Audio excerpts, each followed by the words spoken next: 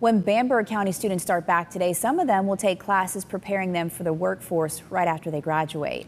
Last year, the Career Center offered a welding class. They've seen an uptick in those enrollment numbers, and this year a cosmetology class has been added. Superintendent Dr. Dottie Brown says it's all in an effort to help students start their careers early and save money. Lots of students now are, okay, how can I get out of high school and go to work? Um, and what can I specialize in to where I can earn a living to support myself and my family um, as quickly as possible? The Bamberg County School District includes six schools, and this year that means about 1,800 students.